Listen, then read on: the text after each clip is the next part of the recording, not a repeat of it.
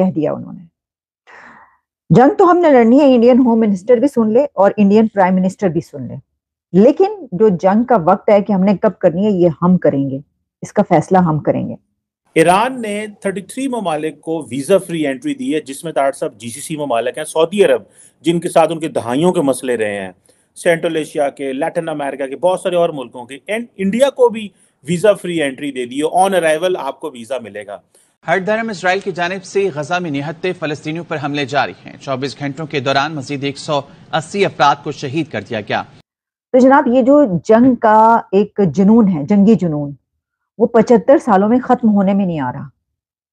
हम तुले में जंग करने पर। हबीब बैंक लिमिटेड आज़ाद कश्मीर का घोटाला। बरतानिया में मुकीम ओवरसीज पाकिस्तानी खानदान के साथ बड़ा फ्रॉड सामने आ गया। नमस्कार दोस्तों जय हिंद। दोस्तों भारतीयों को ईरान में भी वीज़ा फ्री एंट्री मिलेगी, जिसे देख करके पाकिस्तानी बुरी तरीक़ा से बौखला चुके हैं, क्योंकि पाकिस्तानियों का कहना है कि ईरान पाकिस्तान का पड़ोसी होकर भी पाकिस्तान को ऐसी फैसिलिटी नहीं दे रहा, जबकि भारत के साथ ऐसा कर रहा है। साथ ही पाकिस्तान भारत की तरक्की से इस वक्त काफ़ी ज़्यादा बौखलाया हुआ है। पाकिस्तान का फ़कीर आज़म काकड़ भारत को बार बार धमकी दे रहा है कि हम भारत से अब क्रिकेट भी नहीं खेलेंगे, साथ ही भारत से सौ साल तक जंग लड़ते रहेंगे, क्योंकि पाकिस्तान का फ़कीर आज़म फ़ौज ने जो स्क्रिप्ट लिखा है, उसको ही आगे बोल सकता है, इसके अलावा उसकी कोई हैसियत नहीं। और हमने ये ठान रखी है, देखिए उन्होंने क्या बात की। वो ये कह रहे हैं कि वो तो करनी करनी है, इसका मतलब है, देखिए ये तो सभी जानते हैं ना, ये प्राइम मिनिस्टर सब कहाँ से बात करें? ये तो सबको पता है कि उनकी कोई ऐसा ऐसी तो लेजिटमेट कोई ऐसी हैसियत नहीं है, यानी केयर टेकर प्राइम मिनिस्टर है वज़ीर आज़म तो नहीं है ये वाली तकरीरें करने का। तो फिर वो जो शेख रशीद साहब जहाँ पर जहाँ से बैठे होते थे और कहते थे कि जनाब, आशीर्वाद हासिल है। तो वो ये इनको मतलब होता ना कि बाजुकात आपको सही तरीके से वैसे तो बड़े पढ़े लिखे हैं, लेकिन क्या पर्चा रख के सामने पढ़ रहे थे या वैसे ही फिलबदी ही, तकरीर कर रहे थे? क्योंकि ये जो जंग का जुनून है, ये खत्म होने में नहीं आ रहा। इससे ये पता चलता है कि आज का भी 2023 का भी जो पाकिस्तान का वज़ीर आज़म केयर टेकर प्राइम मिनिस्टर भी है, वो भी कह रहा है कि जंग तो करनी करनी है। हम सौ साल घास खाएँगे, सर। सौ साल, पचहत्तर साल घास खा ली, हमने अगले पचहत्तर साल भी घास खानी है, लेकिन जंग करनी है। अच्छा लेकिन उन्होंने इससे पहले एक और बात की उन्होंने कहा इस तरह थोड़ी होती हैं चीज़ें। ये रूहानियत से होती हैं, ये उससे होती है, ईमान से होती हैं, गारंटी की बात की। मुझे लगता है उनको ना थोड़ी सी वो जो मोदी की गारंटी का एक स्लोगन आया, मोदी की गारंटी, उनको लग गई है। नहीं है, हमारे लिए नहीं है इसकी उस, उसकी जो हम ये सोचते रहे कि हमारे लिए कोई ज़रूरत नहीं है हमारे इतने बड़े हमसाया मुल्क की जो इतनी बड़ी इकोनॉमी फिफ्थ लार्जेस्ट इकोनॉमी बन गया लेकिन हमें उसकी ज़रूरत नहीं है तो यही तो वजह है। हमारा डाउनफॉल कहाँ पर है और उनकी तरक्की कहाँ पर है क्योंकि हमें ज़रूरत नहीं है किसी ऐसे उसकी तो उनको ज़रूरत होगी। यानी इसका मतलब ये कि उनको है हमारी बहुत ज़्यादा ज़रूरत हमें उनकी ज़रूरत नहीं। अच्छा इसी में जो वो ये कहते हैं कि क्रिकेट सर, अगर आपको क्रिकेट की, उनकी नहीं खेलना चाहते तो फिर आप तड़प क्यों रहे थे? तड़फ तड़फ तड़फ के मर क्यों रहे थे कि हमें नहीं बुला रहे? हमारी तो लोगों को ऑडियंस को इजाज़त नहीं दे रहे वहाँ पर आकर देखने की मैचेस और फिर उसके बाद हमने कहा कि देखिए हम करवाना चाहते हैं। उन्होंने हमारे मुल्क में करवाने की इजाज़त नहीं दी। अड़े रहे, वो जय शाह साहब ने उन्होंने कहा, नहीं। तो उसके बाद क्या हुआ? आप गए? सर के बल चल के गए वहाँ पर आप? और बल्कि पीसीबी ने तो अपनी जो क्रिकेट टीम है, उसको बगैर सैलरी के भेज दिया। वहाँ पे जाके वो शिकवे शिकायतें कर रहे हैं। यानी आप अपने प्लेयर्स को जो है, वो पैसे तक नहीं दे सकते हैं, जी। लेकिन काकड़ साहब कह रहे हैं, नहीं तो ना सही हम क्यों खेलें? हम नहीं खेलते। हम तो यूके से खेल लेंगे, हम ऑस्ट्रेलिया से खेल लेंगे, अगर वो टीमें आई तो। अगर दहशतगर्दी कम हो गई और वो दुनिया भर की टीम्स आपके उस मुल्क में आके खेलने को तैयार होगी तो ज़रूर आप खेलिए। लेकिन इसके बावजूद जो इंडिया और पाकिस्तान का मैच होता है ना सर, उसकी तो कोई बराबरी नहीं है। काकर साहब खुद भी जो है, जो मैच देखते होंगे ना, वो इंडिया और पाकिस्तान का मैच भी शौक से देखते होंगे। अभी हो पाकिस्तान में मैच कोई तो इंडिया पाकिस्तान के मैच में जाके सबसे आगे स्टेडियम में वज़ीर आज़म साहब बैठे हुए होंगे। आप देखिएगा।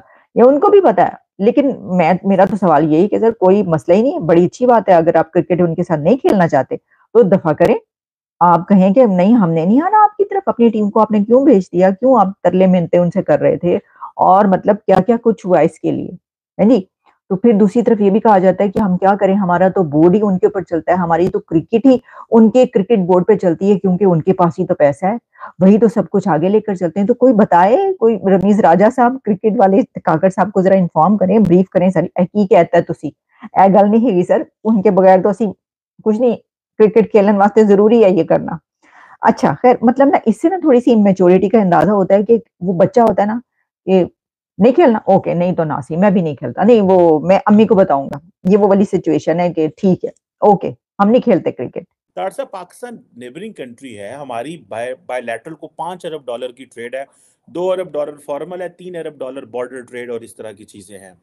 पाकिस्तान को वो ट्रीटमेंट नहीं ईरान ने दिया हमारे तो बहुत सारे जायरीन भी जाते हैं। आ... हमने उनको मफलूज कर दिया है। अब अब मैं जो पिछले दो साल में देख रहा हूँ कि उनके प्रेसिडेंट रईसी साहब साउथ अमेरिका, चाइना बार बार चाइना, फिर अभी रशिया। और जो आपने खासकर बताया है कि ना सिर्फ़ उन्होंने ये थर्टी, ये भी एक इट्स ह्यूज डिप्लोमेटिक सक्सेस जो तीस ममालिक के साथ उन्होंने रीच आउट किया है, इस बिग सक्सेस और इससे पहले जो रईसी साहब है, वो already have he is leading a group जिनके ऊपर अमेरिकन सैंक्शन हैं। They are planning to invent some kind of you know the new setup to trade to sanctions को बाईपास करने के लिए and they have a complete support of China and Russia लेकिन in circumstances के अंदर पाकिस्तान को इस तरीके से अबेंडन करना, मैं हमेशा ये कहता हूँ कि इस वक्त आप कंप्लीटली आइसोलेटेड है कंप्लीटली आइसोलेटेड आपको खुद नहीं पता कि आप इधर चाइना के कैंप में जाना चाहते हैं या अमेरिका के कैंप में जाना चाहते हैं, आपको बिल्कुल खुद नहीं पता। चाइना ने दरवाजे बंद किए, आपने फ़ौरन छलांग मार के तो वॉशिंगटन डीसी आ गया लेकिन अभी आपको खुद नहीं पता कि हमने कहा जाना है। और इसी तरह the entire world is behaving with you you are last confused आपको, ना आपको पता चल रहा है कि आप इलेक्शन आपने कराने हैं, ना आपको पता चल रहा है कि आप हाइब्रिड हाइब्रिड सिस्टम को ही आगे चलाएँगे, आप, या मार्शल मैं तो यहाँ तक इस चीज़ से हैरान हूँ चीमा साहब। हमारे कई जो ऐसे आपके एनालिस्ट हैं, वो हमारे आर्मी चीफ के इस ट्रिप को अमेरिका के ट्रिप को ओपनली ये कह रहे हैं कि शायद ये मार्शल लॉ की अप्रूवल लेने आए और ये वापस जाके शायद मार्शल लॉ लगा दें। क्योंकि इलेक्शन जो है वो जिस तरीके से इस वक्त चैटर चल रही है, जिस तरीके से इस वक्त बातें हो रही हैं इलेक्शन के बारे में। और जिस तरीके से अदालतें उनको स्टे अदालतों ने उन पर कईयों ने जो फैसले किए हैं स्टे किए हैं। लेकिन चीमा साहब, अफसोसनाक बात है कि आप, you bordering state bordering state और आप अच्छा दूसरा उसमें एक बात, आपने एक तो खुद ही निशानदेही की अपने क्वेश्चन के अंदर कि शायद वो डंकिया वाला, डंकियों का मसला है। और दूसरा आपने कहा है कि आपकी आपकी ट्रेड ट्रेड तो आपकी सारी स्मगलिंग है उसको आप, उसको आपको ओपनली कहना चाहिए कि हमारी स्मगलिंग बहुत होती है वहाँ से। आप, ईरान की करेंसी आपके दो सूबों में मुसलसल चल रही है, सिंध और बलोचिस्तान में।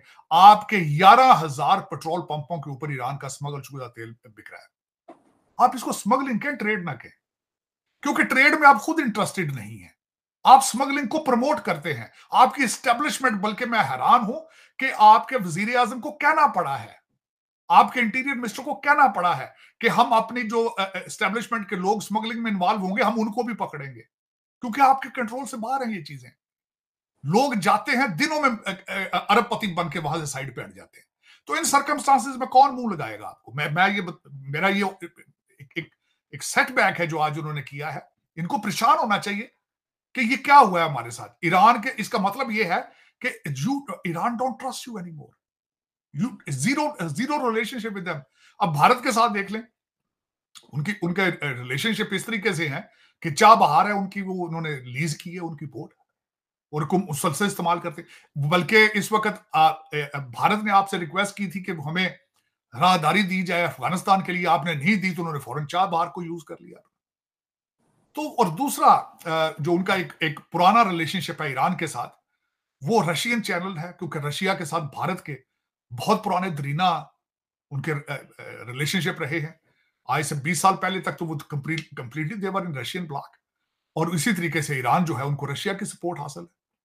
और इस वक्त मेरा ख्याल में दे आर बेटर रिलेशनशिप लेकिन भारत एक, मैं जिस तरह कहता हूँ रीजनल पावर है, बल्कि they are they they are behaving like a super power mere fact जिस तरह डॉक्टर जयशंकर साहब ने टोनी बिल्किन की मौजूदगी में कहा था कि America is not the only super power on the planet any more तो वो तो उस उस लेवल पे है, वो तो मजबूरी है अब दुनिया की कि उनके साथ रिलेशनशिप रखें।